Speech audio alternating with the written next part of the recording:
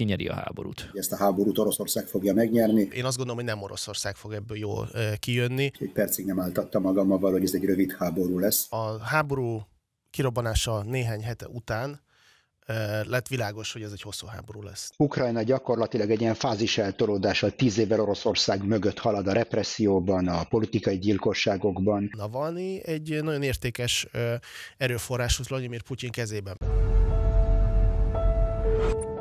Szeretettel köszöntöm a Mandiner Harsztér nézőit és hallgatóit. Ez itt a Mandiner heti geopolitikai magazinműsora Robert C. Castellel és Ben Darzsevszki Antula, illetve a házigazdával Póca Istvánnal. Szervusztok, szeretettel köszöntelek benneteket.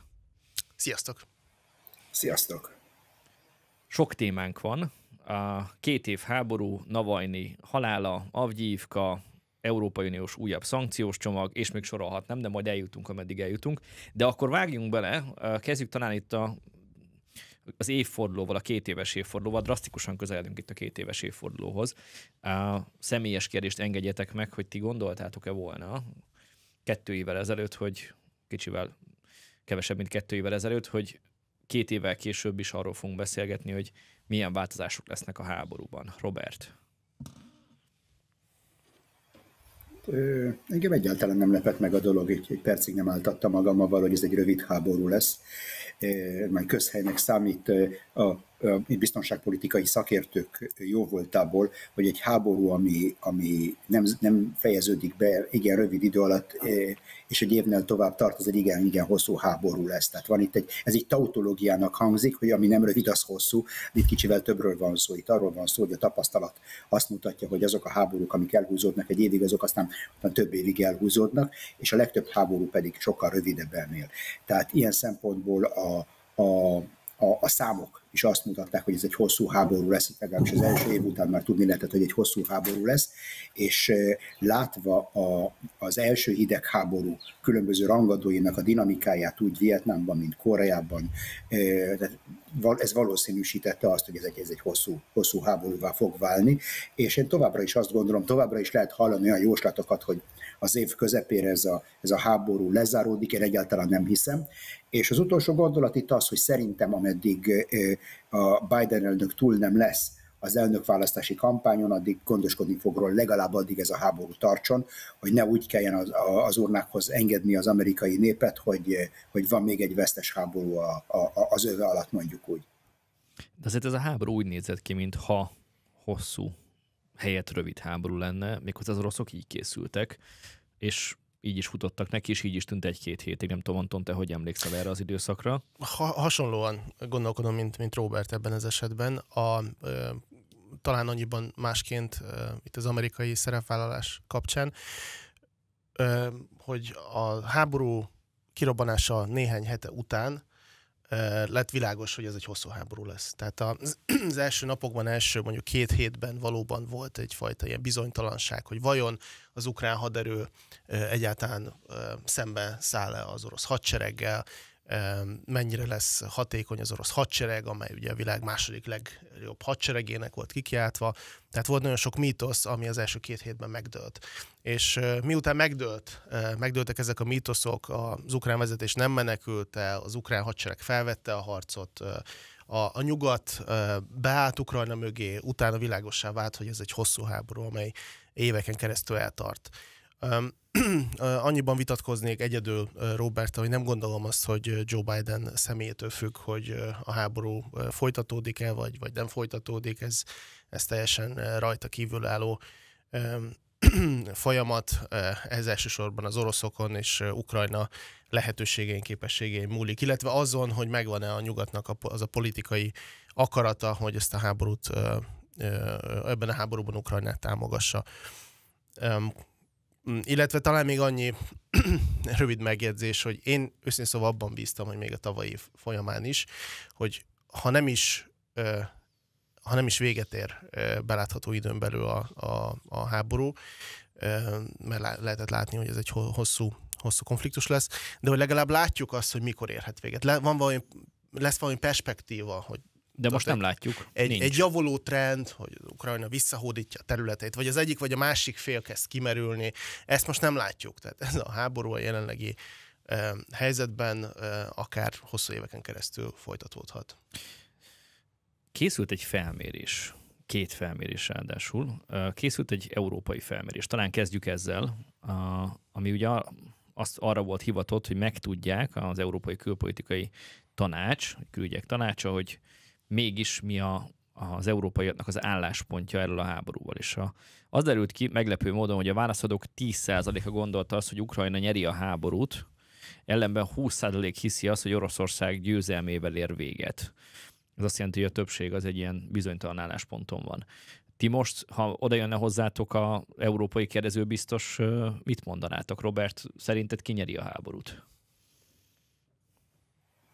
Én következetesen, azon az állásponton vagyok a háború eleje óta, hogy ezt a háborút Oroszország fogja megnyerni.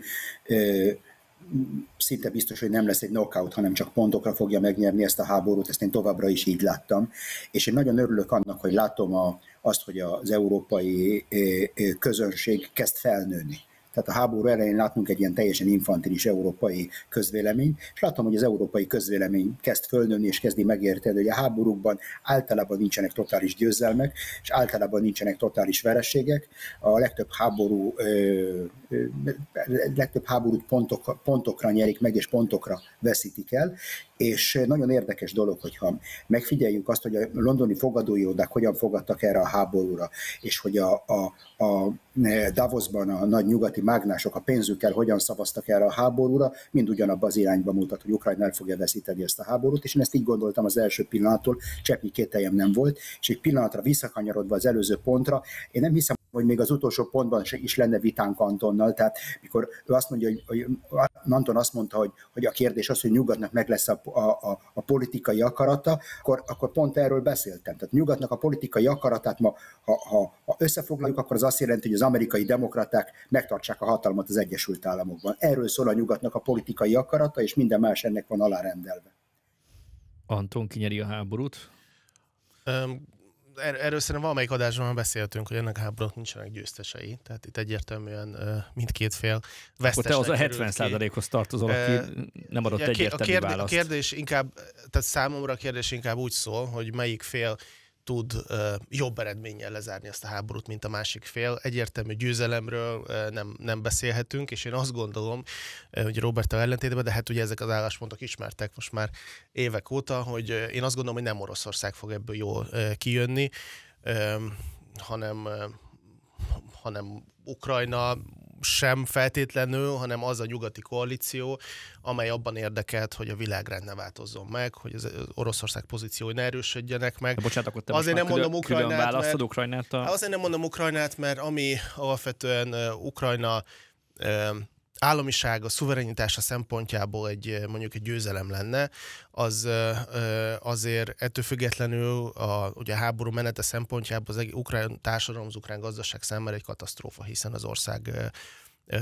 az ország romokban van, és orosz rakéták nap mint nap támadnak ukrán területek felé de hát ezzel, hogy mondjam, ezzel Ukrajna nem nagyon tud mit kezdeni, ez egy orosz agresszió, ami ellen védekezni kell, de hogyha arról beszélünk, hogy most Ukrajna lehet egy győztes, hát én azt gondolom, hogy alapvetően az orosz, az orosz érdekeket vissza tudja szorítani, vagy, vagy meg tudja akadályozni az orosz célok elérését, de hogy ebből győztesen kerüljön ki, az, az megint egy másik kérdés. És picit árnyalnám azért ezt a, ezt a felmérést, ugye ez a ECFR Igen. nek a felmérése.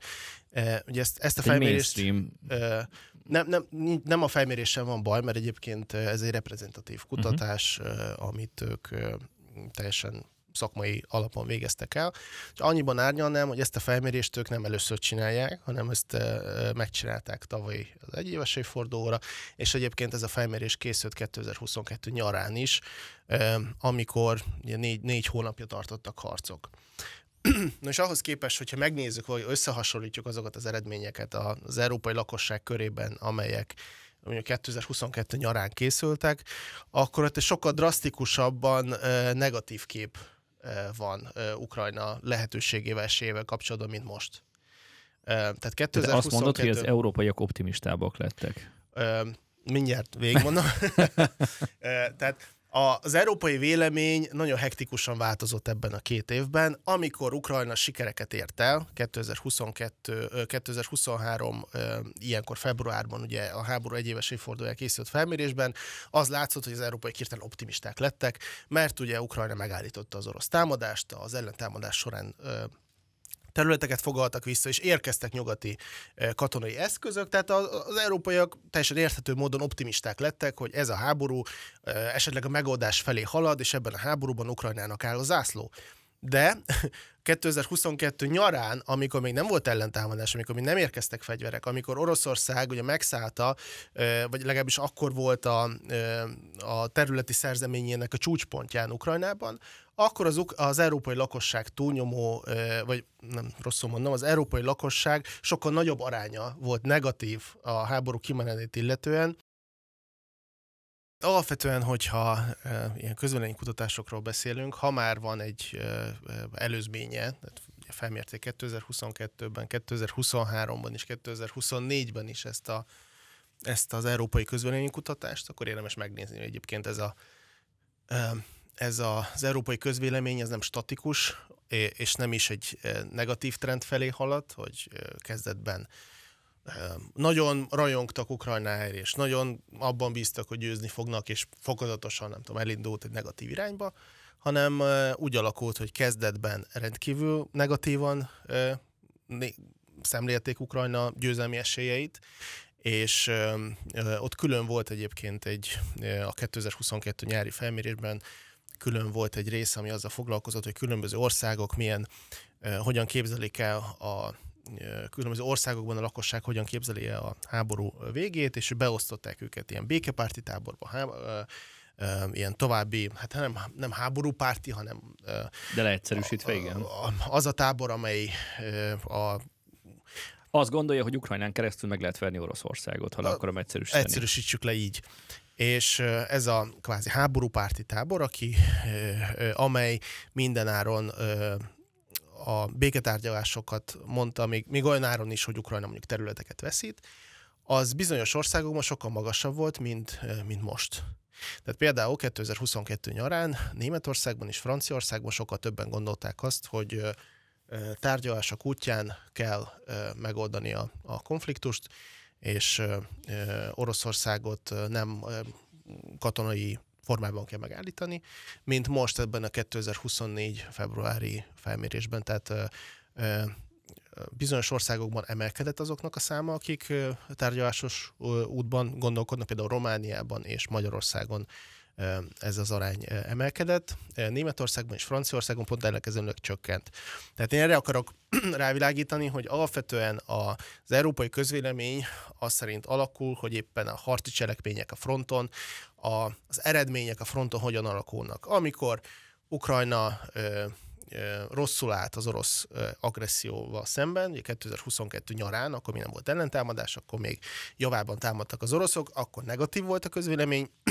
Amikor az oroszokat sikerült megállítani, és elindult a az ellentámadás, és hogy érkeztek a nyugati támadó fegyverek, akkor hirtelen túl optimista lett 2023. februárjában, most pedig ugye az elmúlt egy év e, tudatában megint csak e, negatívan gondolkodnak, és ahogy te is említetted, ugye a, a átlagban 10% gondolja azt, hogy Ukrajna katonailag fogja megnyerni a háborút, és 20% gondolja, hogy Oroszország fogja katonailag megnyerni a háborút, de ugye a többség, a nagy többség úgy vélekedik, hogy kompromisszumos úton fog véget érni a háború, és egyébként ez a fontos, hogy a többség hasonlóképpen vélekedik, mint a szakértők egy része, hogy, hogy ez a háború nem érhet véget valamelyik fél győzelmével, hanem, hanem uh-huh. mindenképpen olyan megoldással ér véget, amelyben mindkét fél kompromisszumos engedményeket lesz kénytelen tenni. Mondok rögtön egy másik felmérést is, ez pedig egy uh, Ukrajnában végzett felmérés, a Kievi Nemzetközi Szociológiai Intézet szerint az ukránok 89%-a hisz Ukrajna győzelmében, 60% pedig teljesen biztos ebben csak röviden reagáljatok kérlek erre, hogyha Robert nagyon mosolyog, akkor, akkor át is kapcsolunk hozzád.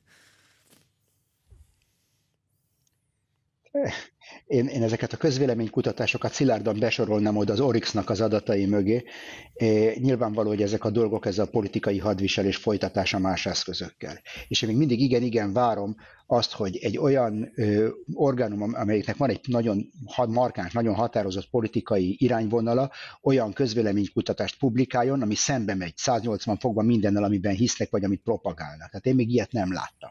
Én még ilyet nem láttam, és ö, ö, tehát nagyjából így kell fölfogni ezeket a dolgokat. Ezek a, ezek a közvéleménykutatások soha nem objektívek, és ne, ne, ne, legyünk, ne legyünk naívak vannak ezek úgynevezett belső közvéleménykutatások, amiket a pártok és esetleg kormányok néha végeznek, hogy val- felmérjék a valódi állását a dolgoknak, ezeket általában dupla anonimitással csinálják, tehát nem, nem a, sokszor a, megre, a, a végrehajtók nem tudják, hogy kirendelte meg ezt a kutatást, hogy ne, próbálja, ne próbáljanak a kedvében járni sem. Tehát ezek nagyon-nagyon fontos mércék, csak ezeket nem publikálják általában. Tehát ezek a dolgok, amik, amik, vezére, amik alapján kialakítják a, a, a mondjuk a pártoknak a, a választási stratégiáját. Ezek tényleg objektív és nagyon-nagyon pontos tükrök, mert a megrendelők ragaszkodnak hozzá. Gyakorlatilag a sikerük múlik azon, hogy ezek pontosak legyenek. Pontosak legyenek. És vannak ezek a propaganda termékek, amiket látunk, hogy piacra dobnak, és ezek, ezek, ezek egyszerűen csak a közvélemény eh, befolyásolását szolgálják, vagy pedig kiszolgálják azt a, azt a, azokat a fogyasztókat, akik ennek a think tanknek, vagy ennek a, az intézménynek a, a, a, a, a termékeit fogyasztják. És most nem akarok Izraelből példákat mondani, ne legyen botrány, a, ebből a dologból, de mindannyian tudjuk, tehát aki kicsit foglalkozott ebben, tudja pontosan, hogy hogyan lehet nagyon-nagyon tudományosan, nagyon-nagyon szigorúan csinálni egy ilyen közvéleménykutatást, és mégis jó alaposan elferdíteni a dolgokat. És általában a választásokkor látjuk azt, egyre több az ilyen meglepetés, tehát Magyarországon is volt egy ilyen kvázi meglepetés a választásokkal kapcsolatban, és ez is azt mutatja, hogy, hogy ezek a, ezek a, a, a, a publikált közvéleménykutatások, ezeket jobb egy, egy jó adag egészséges szkepticizmussal kezelni. Csak, ez, csak ezt tudom ebben kapcsolatban mondani. És a másik dolog pedig az, hogy látjuk azt, hogy milyen erősen meg van dolgozva az európai közvélemény. Tehát inkább ezt úgy mondanám, hogyha ez az európai vélemény a, a, prop, a belső propaganda cunami ellenére, aminek az európai polgárok ki vannak téve kicsit a Ukrajnához vagy Oroszországhoz hasonlóan, akkor ehhez képest, ehhez a propaganda befektetéshez képest ez egy egész síra, elég, elég síralmas, elég síralmas képet mutat.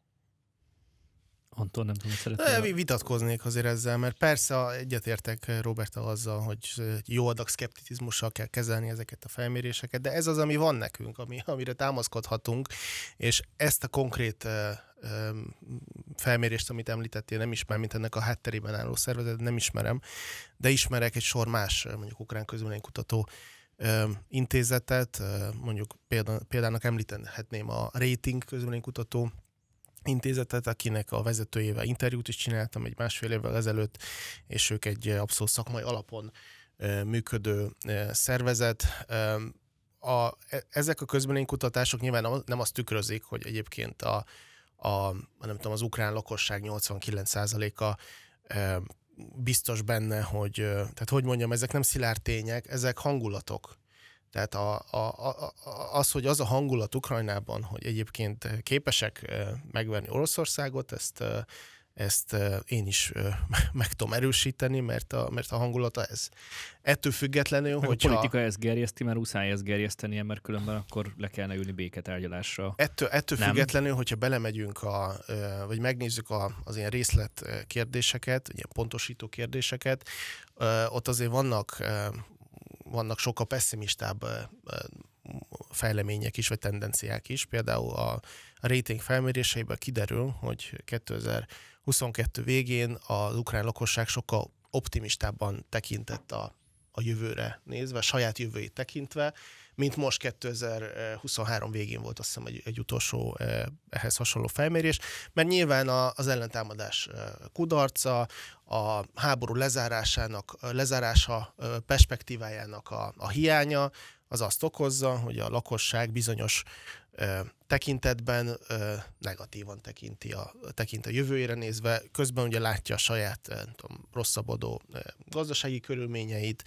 ö, de az, hogy az ukrán lakosság mondjuk bizakodik, hogy Ukrajna győzni fog, hát ö, hogy mondjam, hogyha ö, Magyarország is reméljük erre nem fog sor kerülni, sohasem, hogy Magyarország is harcban állna egy másik országgal, akkor azt gondolom, hogy itt is a kormány mindent elkövet, elkövetne ahhoz, hogy a lakosság úgy érezze, hogy egyébként ezt a, ezt a háborút meg fogja nyerni, és egyébként minden, minden rendben lesz, hiszen mindenki szeretné, szeretné inni, hogy, hogy minden rendben lesz. Ezek, ezek hangulatok nem, nem szilárd, nem szilárd tényeken alapuló valamik. Egy pillanatra akkor kapcsoljunk át a másik harctérre, és kapcsoljunk át Roberthez. Tematikailag ideillik, a tartalmilag lehető kevésbé, mert vissza akarok még térni erre az orosz-ukrán frontra, de hadd kérdezzem meg, Robert, a véleményedet egy izraeli felmérésről, amely szerint az izraeliek többsége már nem hisz a Hamas elleni győzelemben. A, azt mondja, hogy a zsidó lakosság 51%, az arabok 77%-a szerint kicsi a valószínűsége a teljes győzelemnek. Akkor azt jelenti, hogy valami kommunikációs baki van Izraelben, vagy nem hisznek a hadseregben, vagy nem jók az eddig eredmények, vagy mi történik szerinted? Ezzel kapcsolatban több dolgot szeretnék megjegyezni. Először is honest disclosure, ahogy mondják, hogy, hogy őszintén bevalljam a dolgokat. Én ennek az intézetnek dolgoztam éveken át, amelyik ezt a, ezt a közvéleménykutatást csinálta, úgyhogy igen kényes helyzetben vagyok, mikor minősítenem kell a, a, a Bocsánat, ez az Izraeli Demokrácia Intézet, ugye? Igen. Igen, benne van az életrajzom, hogy éveken át voltam a, a, a, a mikor, mikor a, a Sinbetnek az igazgatója befejezte a, letette a lantot mondjuk, hogy és elment, elment csinálni más dolgokat, akkor ott voltam gyakorlatilag a, a kutatási segédje, vagy az asszisztense, vagy a tanácsadója ezen az intézeten belül, foglalkoztunk mindenféle dologgal, én általában kevésbé publikus részével dolgoztam, a, ilyen policy recommendations, amit a parlamentnek készítettünk, meg hasonló dolgokat, de volt egy pár publikus dolgok is. Tehát van itt egy több éves tevékenységem, a mai napig ott vagyok a, a, a honlapján ennek az intézetnek, úgyhogy én semmi rosszat nem mondhatok az intézetről, csupán azt szeretném azt mondani, hogy ennek az intézetnek is van egy politikai politikai beállítottsága. És az a lap, amelyik ezt leközölte, annak is van egy politikai beállítottsága. Tehát e, ezeket, és a, a, az intézet költségvetésének egy bizonyos része egy bizonyos helyről jön. Tehát ezeket a dolgokat meg kell nézni, mielőtt, mielőtt mielőtt véleményt mondunk arról, hogy, hogy, hogy erről a, erről a, erről a közvéleménykutatásról. Ezeket a dolgokat tudni kell, és akkor ennek a, ennek a tudásnak a birtokában kell elbírálni a dolgokat. Ez az egyik dolog. A másik dolog az, hogy nagyon érdekes, hogy milyen időpillanatban közlik ezt a dolgot. Tehát mikor az Egyesült Államok tűzzel, vassal kiállt Izraelnek a totális győzelme mellett, akkor, akkor nem jelent meg egy ilyen dolog ettől az intézettől. Most, hogy az Egyesült Államok valami mást szeretne, akkor hirtelen megjelenik egy ilyen közvéleménykutatás. Hát gondolom a, a, a nézőink tudnak olvasni a sorok között, anélkül, hogy kimondjam a dolgokat. Ez az egyik dolog. A másik dolog az, hogy én azt hiszem, hogy a, a, a, az izraeli közvélemény sokkal tapasztaltabb ezekben a dolgokban, mint az európai, vagy az ukrán, vagy az orosz közvélemény. És teljesen tisztában vannak avval, hogy totális győzelmek általában nincsenek totális győzelmeket általában nem lehet elérni, és ezt is tükrözik ezek a, ez, a, ez, a, ez a vélemény. Tehát én a véleménnyel teljesen egyetértek, hogy totális győzelem se itt épp ugye, hogy más háborúban sem általában nem várható, de, de szerettem volna, ez egy nagyon jó példa szerintem, jó, hogy fölhoztad István ezt a példát, mert nagyon jól illusztrálja azt, hogy mennyire a, a, egy kontextusban kell nézni ezeket, a, ezeket az eredményeket, hogy ki csinálja, mikor csinálja, kinek az érdekét szolgálja, ki az, aki ezt futtatja a médiában, ki az, aki pénzeli ezt az intézetet. Ez csupa olyan dolog, amivel tisztában kell lenni. Tehát mondjuk én leestem volna a székről, hogyha egy olyan eredményt propagáltak volna, hogy a, a lakosságnak a 99%-a tűzzel, vassal totális győzelmet akar, mert minden, egyszerűen nem illik bele az intézet profiljába nem illik bele az intézet profiljába, hogy ilyesmit, ilyesmit, ilyesmit publikáljanak. Most lehet, hogy vannak a, ennek a közvéleménykutatásnak van, van egy olyan része, amit nem publikáltak. Tulajdonképpen millió kérdést lehet kérdezni, millió elemzést lehet futatni az SPSS-en, a statisztikai programon, és akkor kiragadsz abból egy bizonyos dolgot, ami, ami, ami, ami erre mondják azt, hogy az igazat mond, ne csak a valót. Tehát az abszolút való, amit publikálnak, de nem egy teljes képet közöl, és az, amit publikálnak, az, avval van valami. Ez egy, ez egy politikai állítás, tehát egy, egy, egy politikai kijelentést teszek a számokon keresztül. És én azt hiszem, hogy itt az ideje, hogy a, hogy a, hogy a közönség megértse ezeket a dolgokat, és felnőtt módon nézzük ezeket az adatokat, hogy én nem kétlem egy percig se, hogy azok nagyon komoly kutatók voltak, akik ezt publikálták. A kérdés az, hogy az igazat, az igazat mondták-e, vagy pedig csak a valót. És hogyha az utcán jársz, meg gondolom jársz az utcán átlag emberek között megbeszélgetsz, ott te mit tapasztalsz, hogy hogyan vélekednek az emberek erről a gázai helyzetről? Hát én nem ki vagyok én, hogy a, a, a bemér, bemérjem a, az országnak a mértani középpontját, és kijelentsem, hogy mit gondol az átlagember. De én azt hiszem, hogy van egy, van egy teljes konszenzus avval kapcsolatban, hogy ezt a háborút meg kell nyerni, hogy a Hamas jelentette veszélyt föl kell számolni. A vita inkább arról szól, hogy ebben a súlyozásban, az egyensúlyban a, a, a tuszok között és a, a, a, a teljes győzelem között, vagy a háborúban aratott teljes győzelem között, hova helyezzük a hangsúlyt. Tehát melyik, mi, a, mi a relatív fontossága a két célnak, és mennyi időn belül szeretnénk elérni ezt az eredményt. Tehát inkább e körül folyik a vita, és én nagyon-nagyon szomorú dolognak tartom, hogy ez, a, ez ebből a TUSZ, TUSZ kérdésből egyfajta ilyen politikai színezetű dolog lett. A dolgok természeténél fogva az ellenzék meglovagolta ezt a dolgot, és kapott egy politikai színezetet, ami végül is árt a tuszoknak.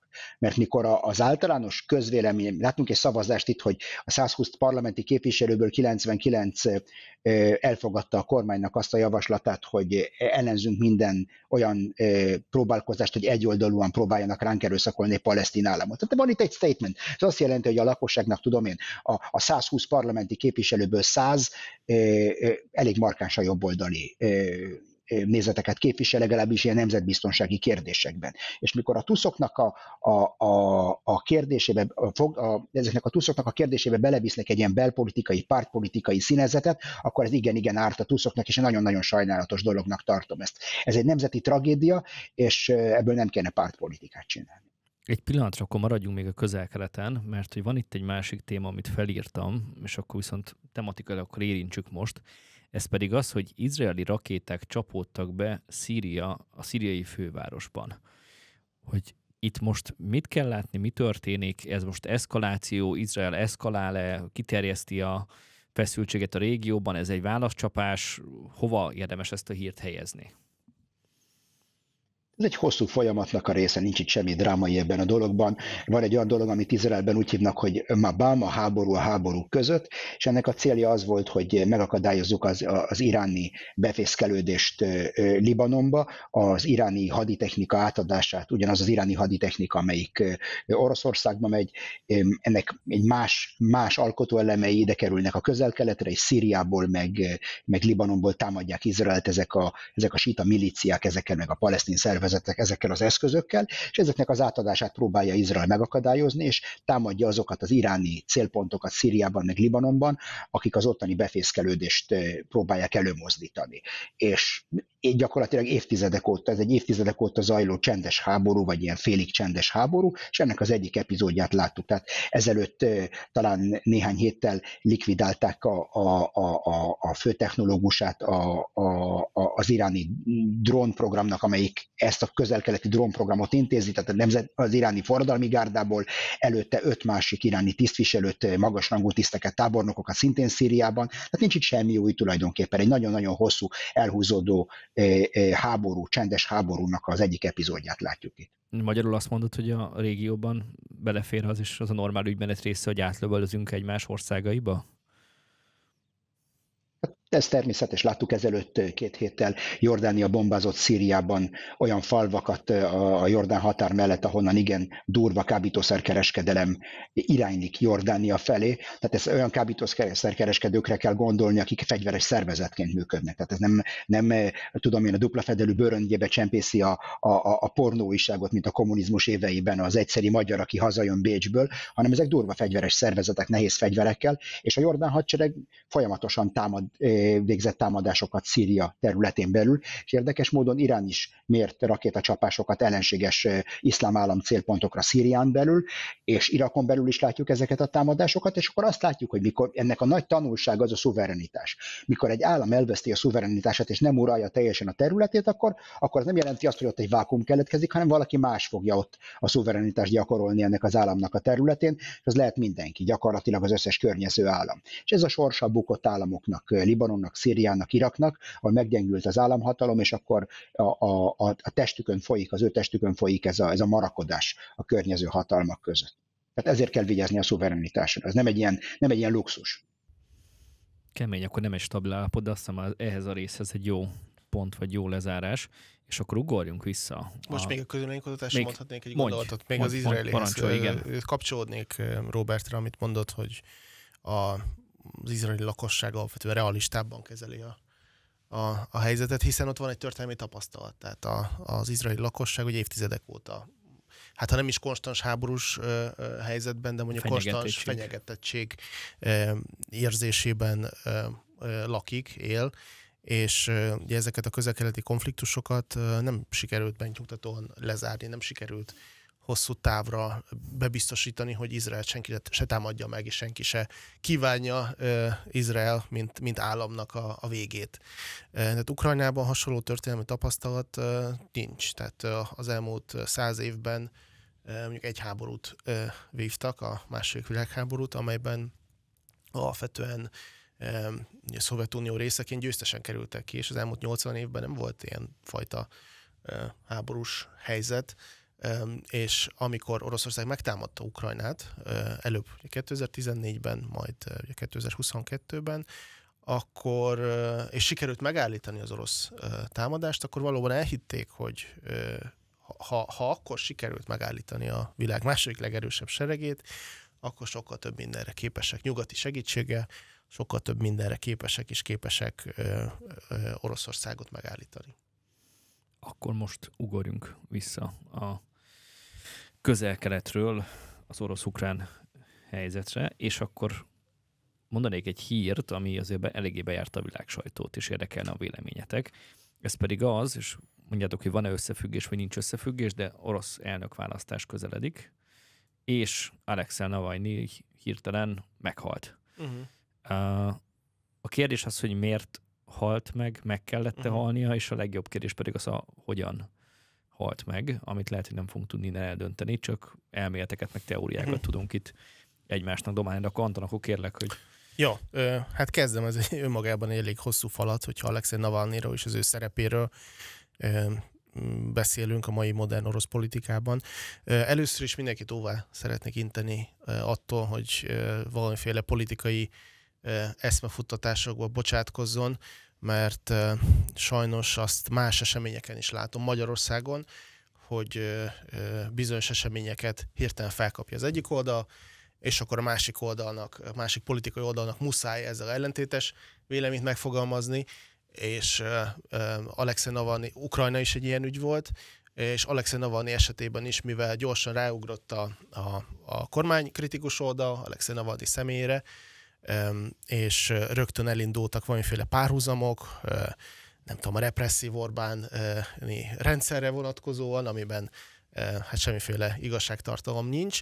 A másik oldal ugye kénytelen volt védekezni, és ezért mondjuk magyar döntéshozók részéről nem is nagyon hangzottak el Navalnyi a kapcsolatos kijelentések, viszont a mindenféle véleményvezérek vagy kommentelők elkezdtek elméleteket gyártani, hogy Alexei Navalnyi egyébként nem tudom, soros embere volt, stb. stb. Tehát ezek, ezeket a politikai megnyilvánulásokat szerintem szét kell választani a konkrét, konkrét eseménytől, és mert hogy valójában nem szolgálják a, a a, semmit nem szolgálnak, mert csak, csak félrevisznek bennünket attól, hogy egyébként mit, mi a helyzet Oroszországban, vagy ki volt Alexei Navalnyi, mert mert semmiképpen nem volt az, mint akinek egyik vagy, vagy másik oldal beállítja. Oroszország legismertebb ellenzéki figurája volt.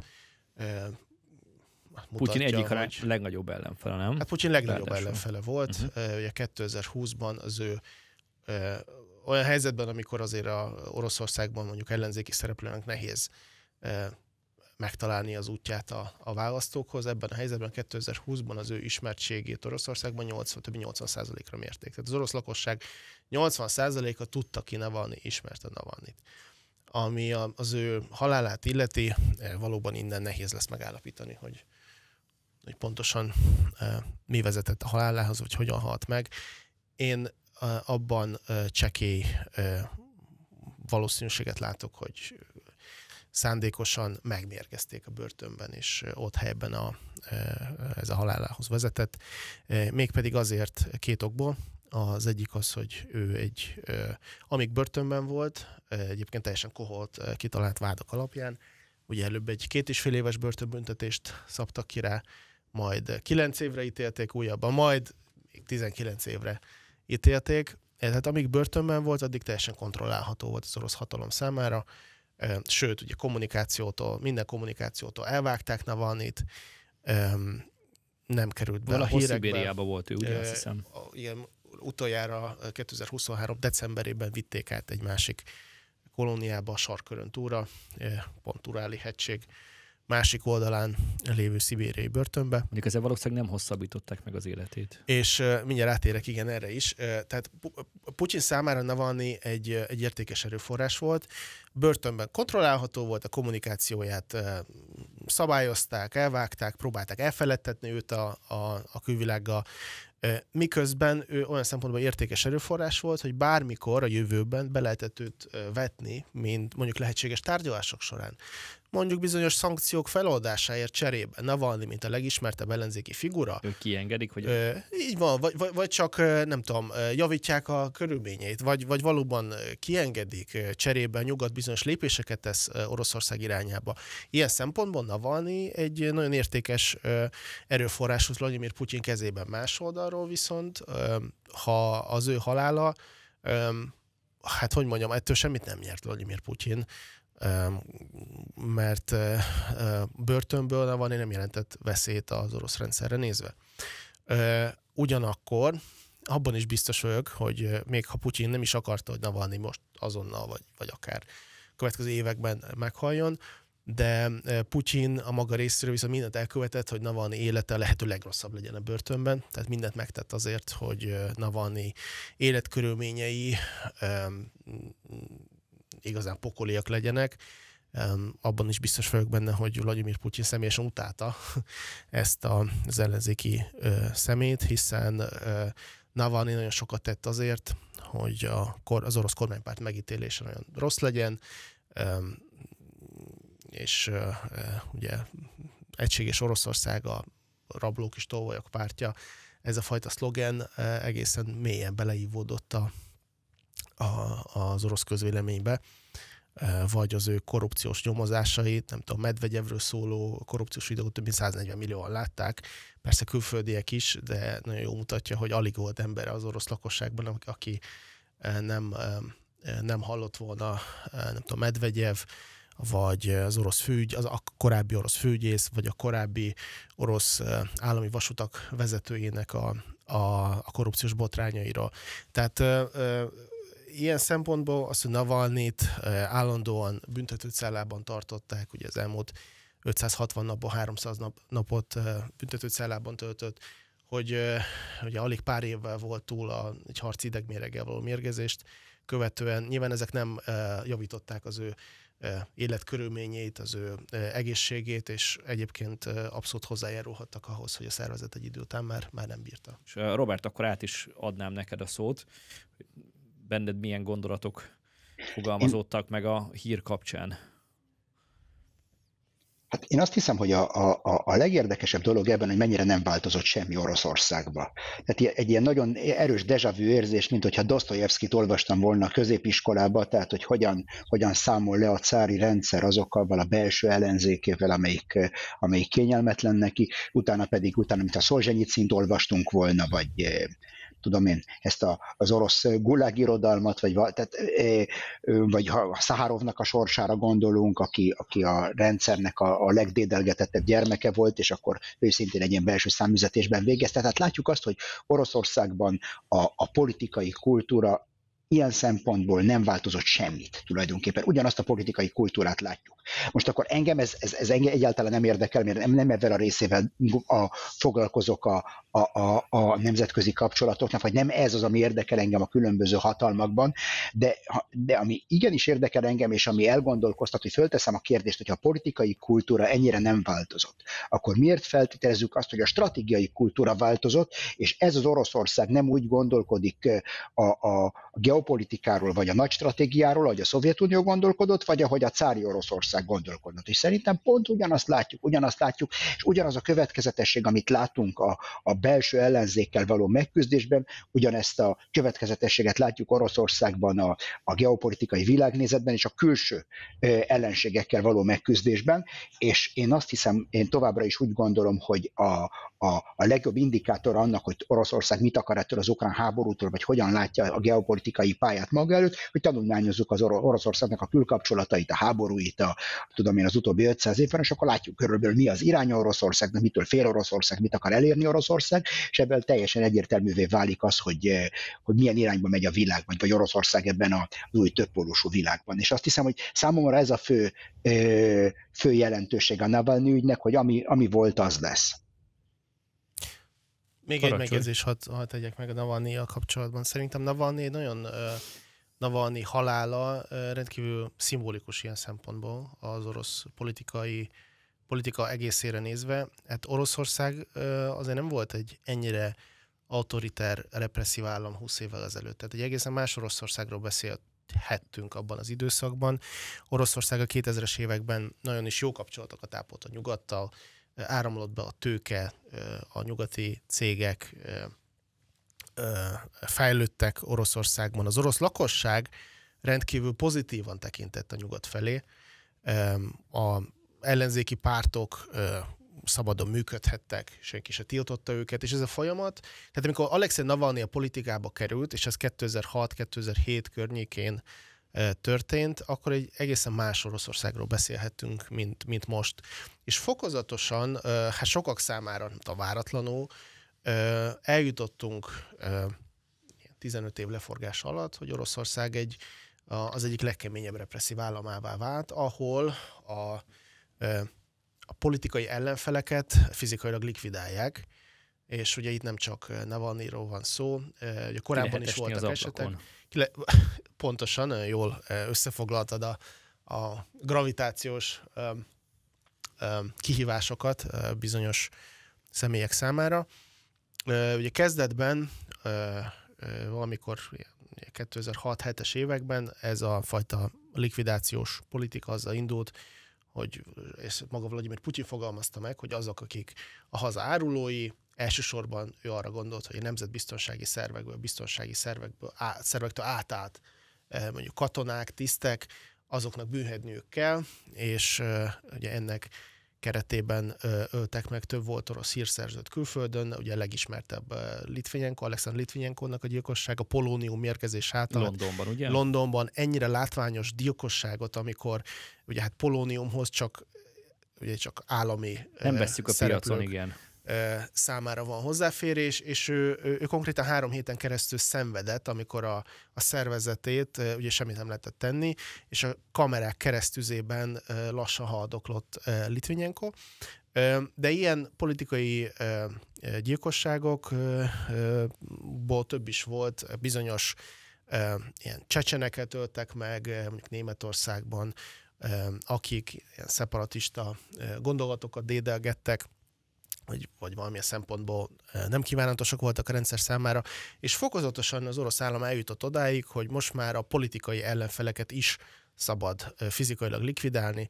Előbb ugye bebörtönözték, elindultak, ugye Alexei Navalnyi ellen semmiféle büntető eljárás nem volt egészen 2013-ig, ugye akkor indították ellen az elsőt, és akkor sem merték leültetni, hanem ő, ő egy feltételes büntetést kapott, aztán jött egy másik eljárás, akkor sem merték leültetni, mert akkor már ez egyik legismertebb figurája volt az ellenzéknek, a testvérét ültették le börtönbe, ez azért egy, egy, egy, egy politikus számára Jelzés. szörnyű.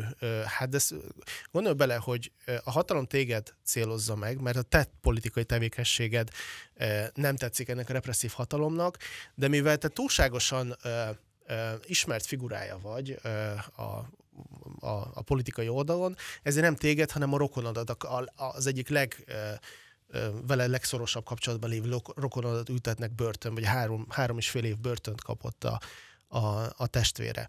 És ugye egészen, és Navalnyi szabadon ugye kampányolt, politizált, egészen ugye 2020-as évekig, amikor is ugye előbb megmérgezték, meg közben jött a Covid járvány, tehát, Németországba vitték kezelésre. Így van, tehát most nem akarom feldolgozni ezt a politikai történetet, csak arra akartam rámutatni, hogy egyébként Oroszország egy 15 évvel ezelőtt egy egészen másik állam volt, amelyikkel jó kapcsolatokat ápoltak a nyugaton, amelyekkel lehetett bocsánat, kereskedni. Itt kérdezzek, és uh, itt már korábban is érintettük korábbi beszélgetésünkben, hogy mintha az ukránok is ezt a know-how-t kezdenék magukévá tenni. Mert ők is elkezdtek politikailag motivált, titkos szolgálati eszközökkel elkövetett gyilkosságokat véghez vinni, belföldön, meg külföldön is. Azért ez nem egy jó know-how. Ez nem egy jó know-how, reméljük, hogy ebből nem nem jutnak el arra a szintre, ahol most az oroszok tartanak, hogy politikai ellenfeleket is likvidálnak. Ugye most jelenleg arról van szó, hogy azokat, akik esetleg érzékeny adatok tudatában voltak, és átálltak, a, vagy elmenekültek az orosz oldalra, és ezeket az adatokat ugye az oroszok szolgáltatták, vagy akik az orosz kontroll alatt álló adminisztrációkban elvállalnak vezető szerepet, azokat célozzák meg. Én szeretném hinni, hogy ez a politikai ellenfelekre nem, fog, nem, nem fog átterjedni. Nyilván ezek, ezek vörös vonalak, tehát amikor előbb történik meg valami, akkor utána sokkal könnyebb ugyanezeket a döntéseket meghozni. Más esetekben, ahogy az Oroszországban is történt, ugye 2015 például az első ilyen vörös vonal volt, amikor Boris Nemcov volt, az egyik legismertebb orosz ellenzéki politikust gyilkolták meg, lőtték le közvetlenül a Kreml előtt, nem tudom, 200-300 méterre. Ez, ez is egy vörös vonal volt. Az, hogy Navalnyi most meghalt a börtönbe, függetlenül attól, hogy én azt gondolom, hogy nem közvetlenül nem volt Putyin érdeke, hogy ő most meghaljon. Ettől függetlenül ez egy vörös vonal. Tehát ellenzéki politikus meghalhat orosz börtönben, anélkül, hogy egyébként lenne következménye. Lehet jobban kellett volna vigyázni rá. Nem? Mert hogy egyébként az orosz büntető vég, végrehajtásnak a, a két vezetőjét néhány nappal Navalnyi halála után elő is léptették. Tehát ez, ez... Pedig azt, amit pont ezt a következtés fogják levonni, hogy jobb körülményeket kellett volna biztosítani, hogy és látod, Bár amit a logika amit mondtál, jobb lett volna nyilván a Navalnyinak egyértelműen, de hogy az orosz vezetésnek is lehet, hogy jobb lett volna. És... Ha további, nem tudom, Robert egyébként, te mit gondolsz erről a... Mi, mi volt a jó, mi volt a kevésbé? Tehát két, két dolgot szeretnék ebben, ebben kapcsolatban kiemelni. Az egyik azt, hogy Ukrajna gyakorlatilag egy ilyen fázis eltolódással tíz évvel Oroszország mögött halad a represszióban, a politikai gyilkosságokban, ugyanabban az irányba tart, ugyanabból a stratégia, ugyanabból a politikai kultúrából kiindulva, ugyanabban az irányba tart, mint Oroszország. Ennek némiképpen gátot szab ez a nyugati közeledés, a nyugati orientáció. Ukrajna kénytelen ö, visszafogni magát ilyen szinten, de látjuk egyértelműen, hogy ahogy Oroszországban volt egy trend, trend, mindig erre tanítanak minket, ez a trendelemzéseket folytassunk, akkor, akkor a trendelemzés, a trend Oroszországban igen egyértelmű, Ukrajnában is ugyanezt a trendet látjuk egy kisebb eltolódással, és ezt, ezt, ezek tények, tehát ebben igen nehéz vitatkozni. És azt is tudjuk, hogy mi, mi az, ami ennek a, van egy jelentrend, ez a nyugati közeledés, ami ezt, a, ezt a, az egyre e, autoriterebbé és egyre gyilkosabbá váló központi hatalomnak némiképpen e, határt szab Ukrajnában, de ugyanazt az utat járják, mint az oroszok, és ugyanoda fognak eljutni valószínűleg, sok, sok kétségem ezzel kapcsolatban nincs, látva azt, hogy ez a politikai DNS mennyire erősen működik ebben a, a régi cári Oroszország államaiban és ez, ez egy tény, nem értékítéletként mondom, csupán tényként jegyeztem meg. És ugyanakkor nagyon érdekes dolog, egy módszertani megjegyzés, nagyon érdekes dolog a különbség a, a fekete doboz és a fehér doboz analízisek között, tehát mindig van ez a különbség, vannak elemzők, akik egy terület specialistái, és vannak, akik generalisták, geopolitikával, háborúval folyt, foglalkoznak, és ö, érdekes, hogy mennyivel más, másképp látják ugyanazokat a dolgokat. A dolog természeténél fogva, aki, aki egy, egy területnek a specialistája, az sokkal inkább, sokkal sokkal nagyobb felbontásban látja a képet, sokkal jobban ismeri a belső folyamatokat, aki pedig a, rendszer egészével foglalkozik, inkább az inkább egy ilyen fekete dobozként látja a dolgot, az érdekli, hogy mi megy bele és mi jön ki belőle, az, hogy bent mi történik, az kevésbé érdekli, és érdekes ez a, ezek, a, ezek a kétféle meglátás, vagy kétféle gondolkodási mód, és most is látszik így a megközelítésünkben Anton, mint a térségnek a, a valódi szakértője, sokkal inkább egy ilyen fehér dobozos elemzéssel dolgozik, én pedig sokkal inkább egy ilyen fekete dobozzal. Tehát, hogyha holnap ugyanez Kínában történik meg, akkor nagyjából ugyanezekkel a szemüvegekkel fogom elmondani a dolgokat egy Csillében, vagy bárhol máshol, mert ezeknek az országoknak nem vagyok a, a fehér dobozos szakértője, nem látom, hogy mi történik ott bent, nem is foglalkoztat különösebben. Engem sokkal jobban érdekel az, hogy ez milyen hatást gyakorol a, a külső viselkedésére ezeknek az országoknak, és ezért mondom mindig, hogy nagyon fontos megkérdezni mind a két féle specialistát, azokat is, akik a területnek a szakértői, és azok, akik a rendszer szintű dolgokkal foglalkoznak, vagy a jelenséggel magával, a háborúval, a hírszerzéssel, bárhol is történjen ez. Szakadolunk a műsoridőnk végé felé, úgyhogy még kettő témára kérlek, hogy röviden, két témára kérlek, hogy röviden reagáljatok. Aztán majd lesz egy harmadik, arra uh-huh. szintén röviden, de a kettő az egyik az az, hogy Avgyívka az új Bahmut, ez a kérdés, a másik pedig a, az EU egy újabb szankciós csomagot hagyott jóvá. Tudom, hogy a kettő nem biztos, hogy nagyon szorosan kapcsolódik egymáshoz, uh-huh. de tudunk-e reagálni. Akkor az orosz röviden. börtönökről már ne beszéljek. Ah, Csak pedig izgalmas, de... Egy, egy percre megengedsz? Egy perc akkor. Csak annyi, hogy ugye most a Alexei Navalnyi esete azért rávilágította, vagy ráirányította a figyelmet az orosz büntető végrehajtásra, de tehát ez nem egy... Nem jó helyek. Nem, igen, tehát nem, nem egy, hogy mondjam, nem egy ilyen elszigetelt eset az orosz börtönökben.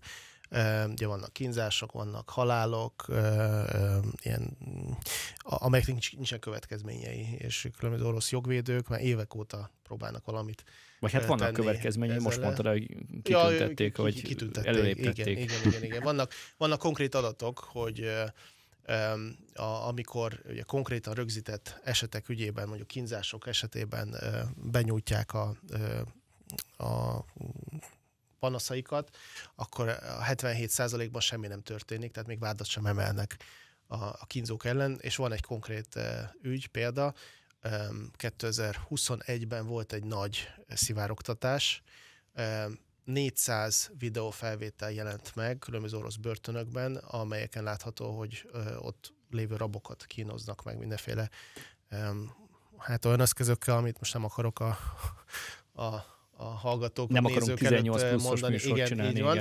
Igen. És ebből a 400 konkrét videóval dokumentált esetből 7 büntető eljárás lett összesen. És abból is azt hiszem, ugye ezt 2021-ről beszélünk, abból is azt hiszem egy vagy kettő nek lett konkrétan eredménye. Uh, na mindegy, ennyit az orosz büntető végrehajtással. Avgyívka? Avgyívka, az új Bakhmut.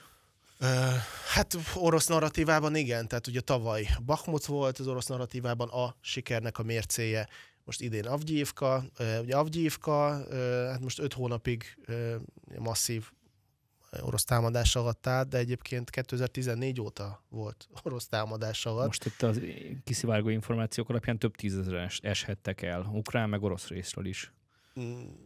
Az egyik orosz blogger 16 ezer orosz katonáról igen. írt, aztán megölte magát, most ezt ne nyissuk ki, igen, hogy mi 16 ezer de... konkrét halottról, orosz halottról beszélt. Hát biztos, hogy mivel ez egy nagyon jól bevédett orosz, ukrán terület volt, biztos, hogy Oroszország ezt nagy, nagy erők árán tudta tudta elfoglalni. Ezt megjegyezném, hogy Avgyévka úgy át uh, 8-9 éven keresztül orosz ostrom alatt, hogy egyébként mindössze 10, légvonalban 13 kilométerre van Donetsk városától. Tehát alapvetően két, két dolgot mondanék Avgyévka elvesztésével kapcsolatban. Egyrészt nem igaz az az orosz narratíva, hogy mint ahogy Bakhmut esetében sem volt igaz, hogy Avgyívka után nem tudom, áttörik az ukrán védelmi vonalat, és meg sem állnak, nem tudom, a Dnieper folyóig.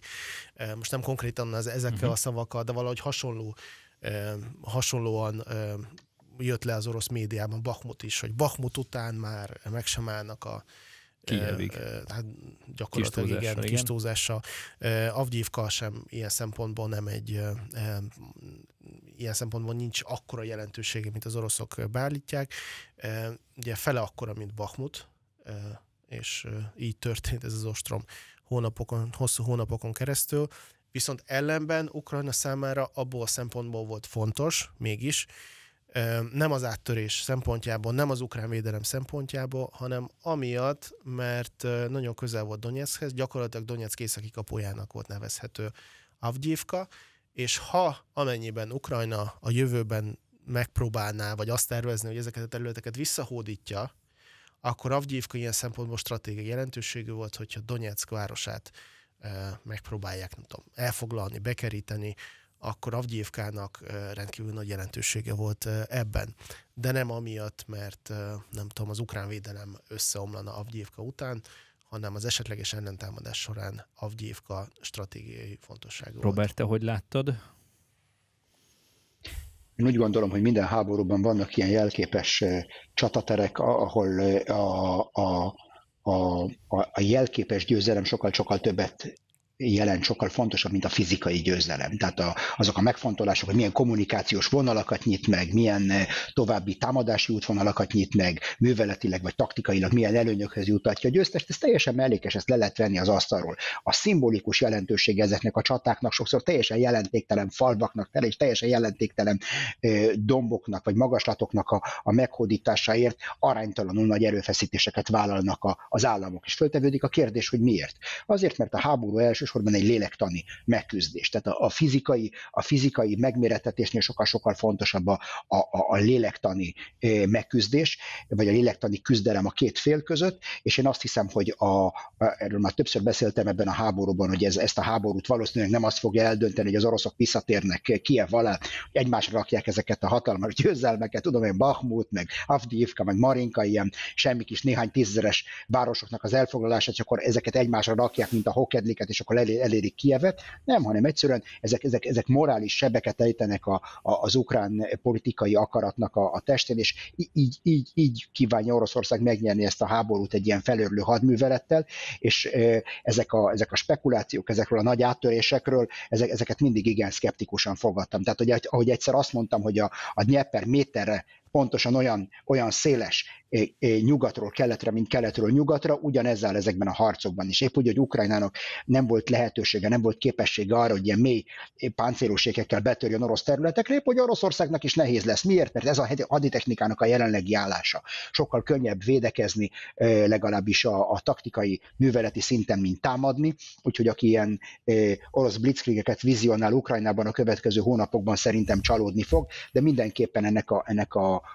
a, a szimbolikus jelentőségű erődnek az elvesztése egy pont olyan győzelem, mint az oroszok számára, mint Bakhmutnak az elvesztése, és nagyon fontos lenne Ukrajna számára ezt a trendet megfordítani, mert ez a trend már gyakorlatilag Herson elfoglalása óta tart. Tehát azóta Ukrajna nem volt képes egy számottevő győzelmet aratni a frontokon, és ezt valahogy meg kell fordítani a Ukrajnának. És én azt hiszem, hogy ezek a, ezek a taktikai győzelmek, hogy itt lebombáztam egy kőolaj kombinátot Oroszországban, ott elsüllyesztettem egy ilyen partra szálló hajót, egy ilyen hajót. Én nem, ez, azt hiszem, hogy ez már a se a nyugati, se az ukrán közvéleményben nem jelent ellensúlyt ezek ellen a szárazföldi veszteségek ellen. Tehát én azt hiszem, hogy amire Ukrajnának szüksége lenne, valahogy megfordítani ezt a sorozatot, és valamilyen helyi győzelmet erőlni a szárazföldi hadszintéren.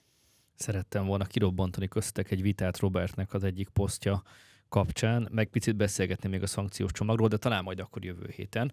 Úgyhogy erre a hétre akkor le is zárnánk ezt a beszélgetést, és köszönöm szépen Robert Cikaszternek és Ben Darzsevszki Antonnak, illetve a Mandiner nézőnek és hallgatóinak, hogy követtek és hallgattak bennünket.